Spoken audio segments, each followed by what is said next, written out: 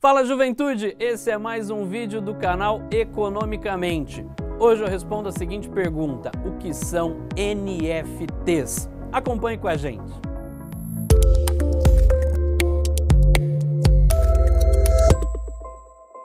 Hoje nós vamos discutir e conversar sobre um mercado que vem movimentando milhões de dólares, especificamente através do que nós chamamos de NFTs. Pera aí, Haroldo, mais uma vez uma sopa de letrinhas e é justamente essa sopa de letrinhas que nós vamos conversar agora. Vamos começar pela sopa de letrinhas, NFT.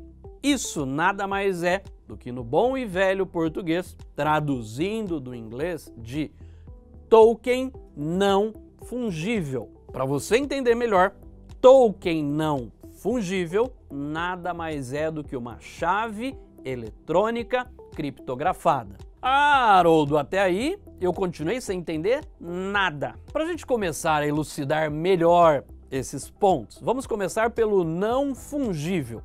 Significa que ele não é o único, de certa forma, que ele tem o mesmo valor que outro. Para parar um pouco com esse techniquez, vamos direto aos fatos. Basicamente, NFT é algo que me proporciona autenticidade na compra de qualquer bem digital. Seja ele um GIF, seja ele um tweet, seja ele um meme, seja ele uma obra de arte. O NFT transforma qualquer mídia digital única e insubstituível através de blockchain, ou seja, um mecanismo de protocolo de segurança. A compra de uma NFT é feita por uma criptomoeda que gera o registro e, consequentemente, a posse desse ativo num sistema de blockchain.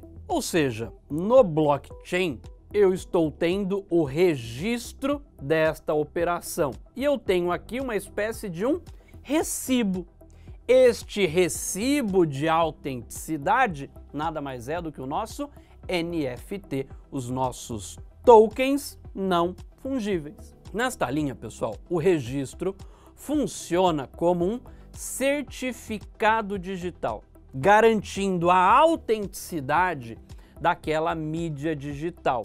E esse registro está em blockchain, de forma que eu consigo identificar de onde veio e para onde foi. Só um detalhe: não confunda NFT com moeda digital. Pelo contrário, ele se refere ao ativo vendido em si.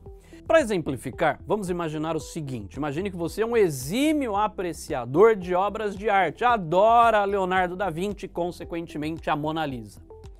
Você deve encontrar na internet diversas fotos da Mona Lisa, diversas imagens.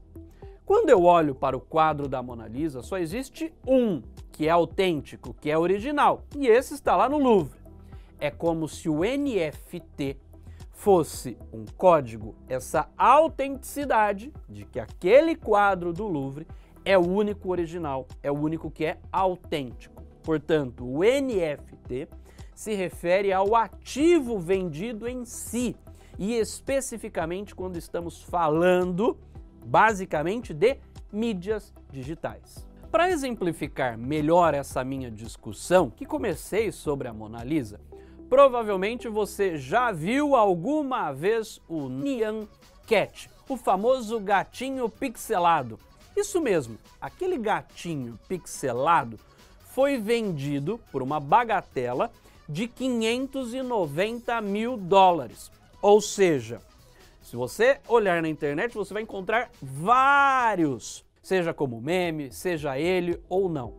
O que eu estou querendo dizer é, uma pessoa pagou 590 mil dólares por um NFT, ou seja, ele recebe a mídia digital com esse token, com esse selo de autenticidade, dizendo que aquele que você possui é o original, é o autêntico. Embora na internet circule diversas outras cópias daquele produto ou daquela mídia digital.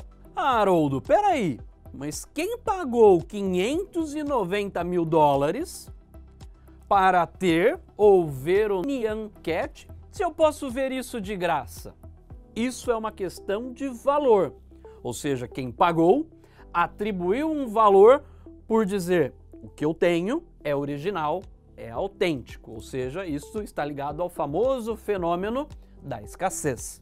Portanto, o que é legal de um NFT é que você pode se gabar da autenticidade de uma mídia digital, seja ele um texto, uma música, um meme ou até mesmo um GIF.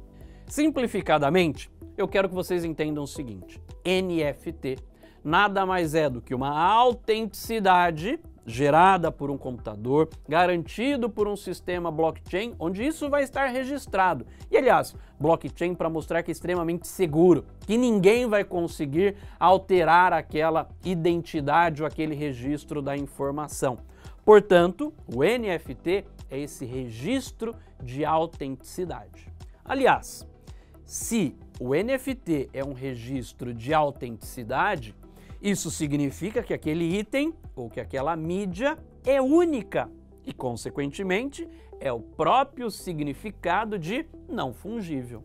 Portanto, e para ficar bem claro, o NFT é a chave, é a garantia de que aquele item, de que aquela mídia é única, é exclusiva. That's all, folks. Isso é tudo, pessoal nós vamos ouvir falar muito de NFTs a partir de agora. Afinal, eles surgem para resolver um problema da propriedade, especificamente no contexto digital. Espero que a gente continue vendo bastante sobre essas discussões e espero continuar vendo bastante você por aqui. Valeu!